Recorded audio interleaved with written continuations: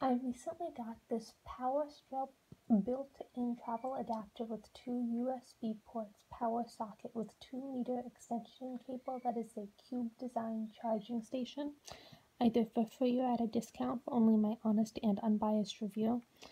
I really love that it has the USB plugins as it's perfect for charging my phone. The fact that this is 2 meters made it the perfect length for me as it was not too long. I kind of liked the green on it as it made it look more fun than others. It just kind of gave it a little bit of character. I also liked the fact that it could be used as a travel adapter.